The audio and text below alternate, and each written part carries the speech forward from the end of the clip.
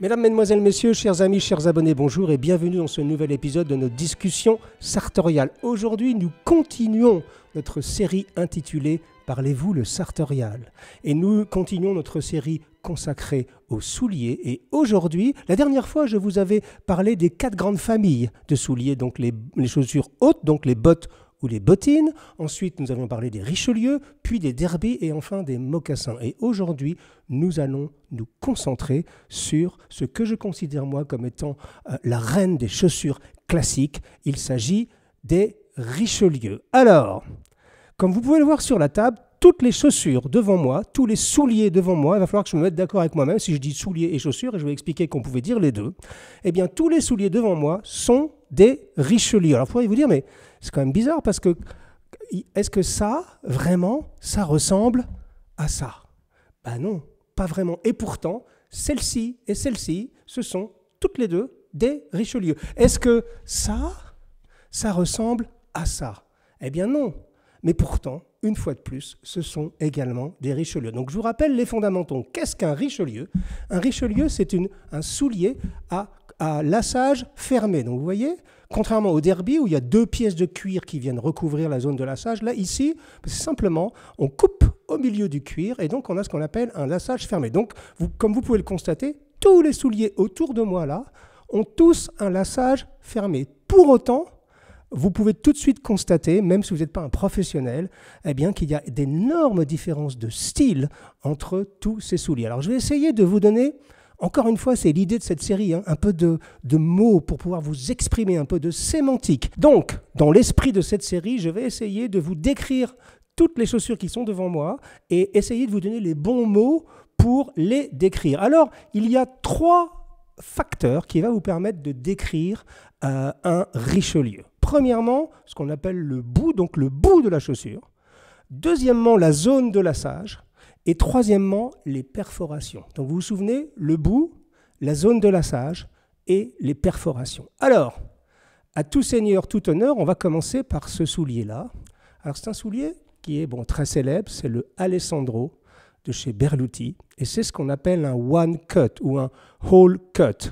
On pourrait dire, je crois que Berluti à l'époque avait, appelé, avait utilisé le mot escarpin, ce qui est un peu à confusion, parce que l'escarpin, c'est plutôt un soulier de dame, généralement. Mais toujours est-il que le, on dit plutôt un one cut ou un all cut. Aujourd'hui, vous voyez, sur celui-ci, donc c'est le Richelieu le plus simple. Et quand on parle de bout, eh ben là, il n'y a rien en fait, tout simplement. C'est une pièce de cuir avec euh, une coupe au milieu pour le lassage, et c'est ce qu'on appelle un hole cut. Alors pourquoi je vous parlais que le bout était, était l'une des zones où on pouvait voir la différence entre un Richelieu et un autre Richelieu? Donc ça, c'est l'Alessandro de Berluti, et par exemple, on a différents types de bouts. Par exemple, là, on a ce qu'on appelle ici un bout droit. Ça, c'est un soulier de chez Mario Bemer. Donc vous voyez, un bout droit, pourquoi? Bah, parce qu'il est droit, tout simplement. Hein. En fait, vous allez voir que la sémantique au niveau du soulier, c'est assez simple. Il s'agit de décrire ce que vous voyez. Donc là, vous voyez un bout droit. Ça, c'est également un bout droit. Vous voyez Et celui-ci est également un bout droit. Mais alors, vous pouvez me dire, mais quelle est la différence? Par exemple, celui-ci, c'est aussi un bout droit, mais contrairement à celui-ci, il n'y a pas une zone de couture. Ça, c'est ce qu'on appelle un bout droit rapporté. Donc ça veut dire que vous voyez, il y a une... Euh, alors en anglais, on appelle ça a cap toe. Je trouve que ça dit mieux la chose que bout droit rapporté. En anglais, ça veut dire euh, littéralement un chapeau. Un, bout en chapeau, c'est-à-dire en casquette exactement. C'est-à-dire c'est une pièce de cuir qui est rapportée sur l'empeigne, sur le corps de la chaussure. Donc c'est pour ça qu'on appelle ça un bout droit rapporté. Alors que celui-ci, c'est une seule pièce de cuir. Et vous voyez qu'il y a juste une petite ligne de couture ici. Bon, en l'occurrence là, elle est faite depuis l'intérieur, mais même ça pourrait exister par-dessus. Et là, c'est ce qu'on appelle un bout droit simulé. Vous voyez? Donc en fait, c'est assez simple. Il faut juste exprimer ce que vous voyez. Là, donc, c'est un Richelieu à bout droit rapporté. Et ici, c'est un Richelieu à bout droit simulé. Si par exemple, je vais prendre celui-ci, c'est également un Richelieu à bout droit rapporté, parce que vous voyez, il y a une zone de couture ici. D'accord? Donc ça, c'est ce qu'on appelle le bout droit. Je vous rappelle, le hole cut, ben, il n'y a rien, c'est simplement, y a, c'est juste une pièce de cuir, il n'y a absolument aucune fioriture sur le bout. Et ensuite, vous avez ce qu'on appelle ici Le bout avec une vague comme ça. Ça, on appelle ça en français le bout golf tout simplement. Donc là, vous en avez un ici qui est très joli. Euh, c'est euh, bah, le cortège, je vous l'ai montré dans la précédente émission, donc c'est vraiment un très grand classique. Et puis vous avez les bouts où il n'y a rien, mais sur lequel vous pouvez voir un médaillon.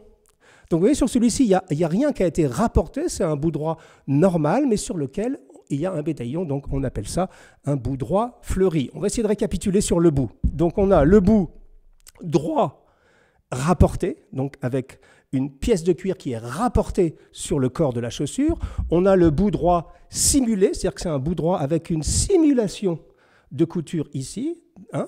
Ensuite, donc, on a le bout dit golf, c'est-à-dire au lieu d'être droit, eh bien, il a une petite ondulation. Donc voici pour les bouts. Après, le deuxième, le deuxième endroit où on peut faire la différence entre un Richelieu et un autre, c'est dans la zone de lassage.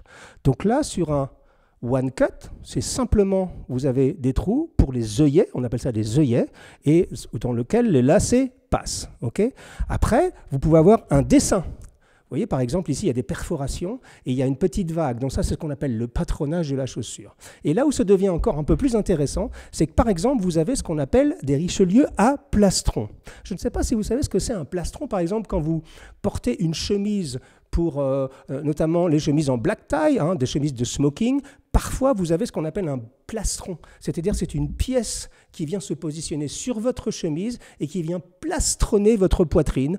Bon, c'est très chic, c'est très joli, c'est généralement dans un coton un peu plus épais, hein, on dit plastronné. Et donc, on a pris euh, cette chose-là, ce, ce sémantique-là, pour décrire cette chaussure, par exemple. Vous voyez, ici, c'est ce qu'on appelle un plastron. C'est-à-dire comme s'il y avait une pièce. C'est vraiment, ça fait référence à la chemise, hein, le devant d'une chemise, c'est un plastron. Par exemple, ici aussi, on a un plastron. Alors les Anglais, ils appellent ça Adélaïde. Alors je ne sais pas pourquoi, mais euh, voilà, vous, voyez, donc la sémantique est extrêmement compliquée, mais c'est facile, encore une fois. Vous regardez cette chose-là et vous vous dites, ah oui, c'est vrai, il y a un plastron. Donc ça, c'est un Richelieu à plastron tout simplement, euh, avec un bout fleuri. Hein. Si je prends celle-ci, si je la décrivais maintenant parce qu'on commence à progresser, ça c'est un Richelieu à bout droit rapporté. Vous voyez, le bout est rapporté à plastron. Voilà. Donc vous voyez, la zone de lassage est une zone également dans laquelle vous pouvez faire la différence et vous pouvez utiliser les bons mots. La troisième chose à retenir, ce sont les perforations. Alors, les Anglais disent les brogues. Euh, des fois, nous aussi, on utilise le mot brogue. Brogue, ça veut dire perforation. Tout simplement, c'est les petits trous-trous, hein, vous voyez ici, les petits trous-trous qui sont dans les souliers. Alors, l'origine de ça, alors c'est un peu, un peu confus l'origine des, des, trous dans les souliers. On pense que ça vient toujours de l'Angleterre. Vous savez, la perfide Albion a inventé beaucoup de choses euh, au niveau euh, de l'art sartorial. Et il se trouve que euh, la famille royale, quand elles allaient voir des matchs de cricket, vous savez, ce sport auquel on ne comprend rien du tout, nous les Européens, il faut vraiment être anglais pour comprendre le cricket. j'ai essayé un mois de m'y intéresser, j'ai toujours pas compris comment ça fonctionnait. Et en fait, quand ils allaient avec leurs souliers bah, dans, l'herbe, tout simplement, ils sont aperçus que créer un petit vide d'air avec une perforation, bah, ça protégeait le cuir. Voilà, tout simplement. Bon, toujours est-il qu'ensuite c'est devenu bah, comme une figure de style. Et donc il y a des chaussures donc, avec des brogues, avec des perforations, et il y a des chaussures qui sont sans perforation, ou des chaussures qui ont un peu, un peu de perforation, et d'autres beaucoup de perforation. Vous voyez donc, en fait, toutes ces choses-là, c'est vraiment intéressant. Il faut toujours, encore une fois, décrire ce que vous voyez. Et alors, la perforation, c'est vraiment un truc très mystérieux parce que, par exemple, pour celle-ci, vous voyez que sur ce soulier-là, euh, il n'y a pas de perforation du tout. Alors on devrait dire, ah ben ce soulier, c'est un, soulier, donc ça c'est un Richelieu, d'accord? À bout golf, d'accord? Et sans perforation. Eh bien, au lieu de dire simplement un Richelieu à bout golf, on appelle ça un austerity brog. Alors là, ça se complique vraiment. On a vraiment l'esprit tordu. Je pense que c'est plutôt les Anglais, en l'occurrence, qui ont l'esprit tordu, parce qu'ils ont appelé ça brog voulant dire perforation, austerity voulant, dire austère. Et donc, si on traduit austerity brog, c'est un brog sans brog en gros, un brog austère. Vous voyez ce que je veux dire? Bon, allez, je ne vais pas rentrer dans trop de détails, mais en l'occurrence, euh, le brogage ou la perforation, c'est ce qui vous permet donc de décrire une chaussure. Alors ça peut vous paraître un tout petit peu confus comme ça, Mais tout de même, ah oui, j'ai oublié quelque chose, le balmoral, la couture balmoral. Tout le monde parle des chaussures balmoral. Pourquoi? Encore une fois, les Anglais et surtout les Américains, ils ont tendance à faire la confusion entre un Richelieu, ils appellent un Richelieu qui s'appelle un Oxford en anglais, un balmoral. Alors que balmoral, c'est ça. Ça, c'est tiens, c'est un soulier euh, qui m'a été prêté par Alex parce que tout simplement, j'en ai pas de balmoral, ou alors j'en ai, mais je ne les ai pas trouvés dans mon placard à chaussures qui est assez volumineux. Alors, ce qu'on appelle un balmoral, c'est cette couture-là. Vous voyez? Cette chaussure-là, elle a une vague, vous voyez? Et là, la couture, elle va tout droit. Donc, c'est ce qu'on appelle une couture balmoral. On, on le retrouve souvent, on en parlera dans la prochaine édition, sur les bottines. Ça se fait beaucoup, les bottines balmorales. Donc, quand vous parlez de balmoral, c'est quand vous voyez une couture qui va du, devant de la chaussure jusqu'à l'arrière en ligne droite, ça s'appelle une couture balmorale. Alors, je vais essayer de me résumer un tout petit peu. D'ailleurs, on va faire un petit exercice. Je vais essayer de vous décrire, avec ce que je viens de vous apprendre, euh, chaque chaussure une par une, que, ça vous, que vous puissiez vraiment euh, comprendre comment ça fonctionne. Donc d'abord, on parle du type de chaussure en premier. Donc, est-ce que c'est un Richelieu, un derby, une bottine ou un mocassin? Ensuite, on parle généralement du bout, c'est-à-dire est-ce que c'est un Richelieu à bout droit ou à bout golf, par exemple? Et ensuite, on parle des spécificités de la jaune de lassage, s'il y en a, donc un Richelieu à bout droit à plastron. Et ensuite, on parle de la présence ou de l'absence de perforation. Donc, je vais faire un petit exercice. Comment je pourrais, par exemple, décrire, alors celui-ci c'est facile parce qu'il n'y a rien, dessus. Donc, c'est un Richelieu one cut, donc une seule coupe. Euh, voilà, c'est tout. Donc lui, c'est le plus facile à décrire et c'est l'Alessandro de chez Berluti. Ensuite, celui-ci, allez, on le prend au hasard. Celui-ci, il a, vous voyez, si on dit, donc ça c'est un Richelieu, c'est sûr. Après, on, regarde le bout. Ah oui, c'est un Richelieu à bout droit. Ah voilà, et on voit que le bout droit, il était rapporté, donc c'est un Richelieu à bout droit rapporté. Et là, après, on regarde la zone de lassage et on se rend compte qu'il y a un plastron alors on pourrait dire c'est un Richelieu à bout droit rapporté à plastron ou un Richelieu à plastron à bout droit rapporté. Autre exercice, celui-ci, la chaussure d'Alex. Alors ça c'est facile. Richelieu à bout droit rapporté, mais il a une particularité, c'est qu'il a une couture qui va à l'arrière. Donc c'est un Richelieu balmoral à bout droit rapporté. Vous voyez, petit à petit, on commence à y arriver. Celui-ci, alors là c'est le plus simple, hein, c'est un Richelieu à bout droit, rapporté. Il n'y a rien d'autre à dire sur cette chose-là, puisqu'il n'y a rien, il a pas de fioriture au niveau de la zone de lassage, il n'y a pas non plus de perforation ou de couture particulière. Donc ça, c'est un Richelieu à bout droit rapporté. Et celui-ci, avec lequel on avait commencé, c'est pour moi peut-être le, modèle le plus classique de classique. C'est un Richelieu brogue, parce qu'il y a beaucoup de perforations à, bout golf, parce que vous voyez, la petite vague, c'est pas un bout droit, c'est un bout golf, euh, et on appelle ça un bout fleuri, parce qu'il y a des perforations sur le bout droit. Alors, j'espère que je ne vous ai pas perdu en route. Ceci dit, c'est assez rigolo quand même, toutes ces choses-là, parce qu'on entend beaucoup, beaucoup de gens qui essayent d'utiliser cette sémantique et qui se plantent un peu.